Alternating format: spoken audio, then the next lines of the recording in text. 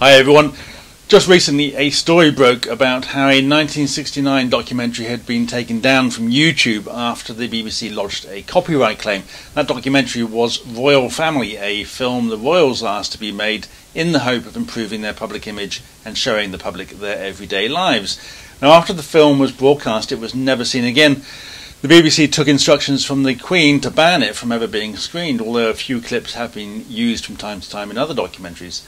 Copies have got out, and one was recently posted on YouTube, and YouTube took it down and it was reposted an hour later, so clearly it's now out there, and copies will probably continue popping up now and again for a long time. Now, I've written to the BBC to ask why they're allowing the subject of a documentary, the Queen, editorial control and the right to block its broadcast.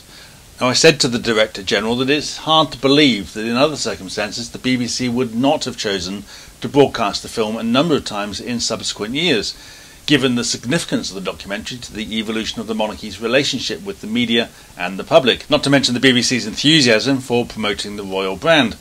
And there is clearly a public and journalistic interest in making the film readily available. So, what's all the fuss about? Well, as an act of great sacrifice, I have watched the documentary so that you don't have to.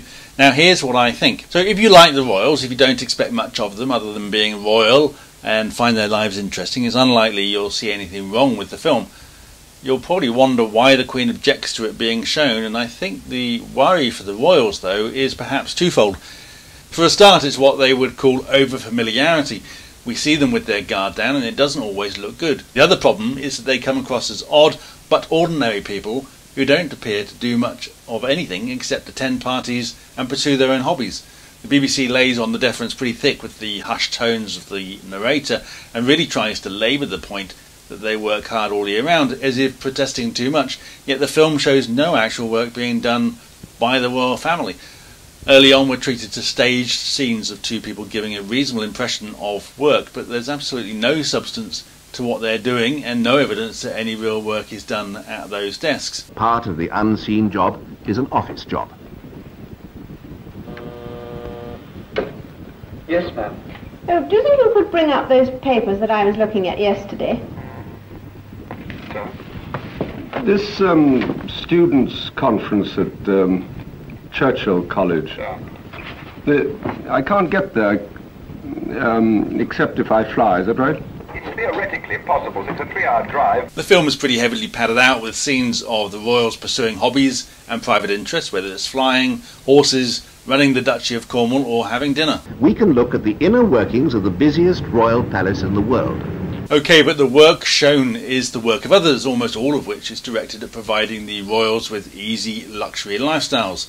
The Queen's work includes deciding what to wear at official engagements for the next eight months, discussing whether she should ask a designer to create a new dress so she has something to wear with a ruby necklace. Ah, this, this fascinating necklace, the Timur ruby one. do wish I could uh, find think really one ought to get a dress designed so that one Especially could, could wear it, yes. Idly looking at stamps and chatting to people about what's next on her list of official engagements also comes under the definition of work. Foreign Office telegrams, Commonwealth papers, information from our ministers, decisions to be taken, rulings to be given, documents to be signed. But what is he talking about? You know, what rulings or decisions does the Queen make? The Royalists are always saying that the Queen has no power, yet they conjure up a fantasy of the busy chairman of Britain PLC. Now, there are a few interesting bits of footage, such as the detail of the royal train. The ten coaches contain three working rooms, three dining rooms, five bathrooms, three kitchens, as well as Prince Philip's room and the Queen's room beyond it. The film unwittingly shows us the absurdity and obscene waste of the Royal Britannia, and there are some interesting walk-on parts by some of the big political names of the time, such as Canada's first Prime Minister Trudeau, uh, Harold Wilson, and Richard Nixon but the lasting impression of dilettantes playing at work and on the whole just playing. Their concerns are trivial and their duties limited, not really warranting a lifetime of preparation as some royals claim they have. David Attenborough, who was at the time a controller at the BBC, reportedly wrote to the film's director Richard Cawston and he said, You're killing the monarchy. With this film you're making, the whole institution depends on Mystique and the tribal chief in his hut. If any member of the tribe ever sees inside the hut, then the whole system of the tribal chiefdom is damaged and the tribe eventually disintegrates. So, so there's pretty ridiculous and patronising nonsense from Attenborough, but there is an element of truth in this. that the royals get away with a lot because we rarely see them for who they really are. Now, this film doesn't quite do that, but it does come close, and not in a flattering way. There's no smoking gun, although this cringeworthy, embarrassing scene at the end doesn't look good. To me, uh, there's, a, there's a gorilla coming in. So I said, you know, what an extraordinary remark to make, very unkind about anybody.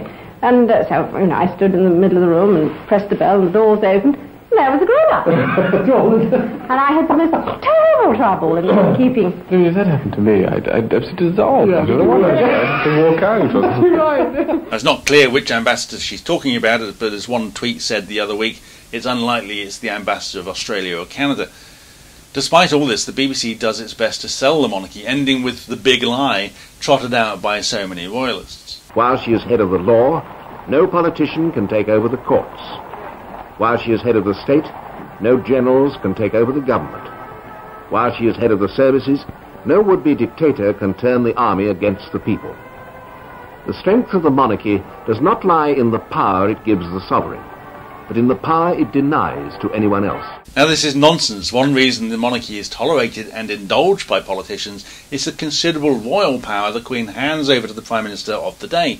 That power is excessive and poorly defined, but monarchies worldwide have proven themselves no check on the power of political leaders or would be dictators. And the British Armed Forces are a professional military that is sworn to take its orders from the elected government of the day. The very idea that the Queen can command the army would be appalling if true but thankfully is nonsense. Now, the documentary is back on YouTube from time to time if you do want to watch all 90 minutes of it, although do be sure to stock up on Red Bull before watching it and maybe don't operate heavy machinery for a few hours afterwards. If we get a reply from the BBC, I'll let you know, but if not, I'll write again because the BBC needs to behave without fear or favour. Now, whether this documentary is flattering or damaging for the monarchy, it should be made publicly available. There is absolutely no reason to keep it hidden away. They could stick it on iPlayer, they could make it available to anybody that wants to watch it. And the fact that they're taking instructions from the Queen to keep this video hidden away is, quite frankly, outrageous. That's it from me. Bye for now.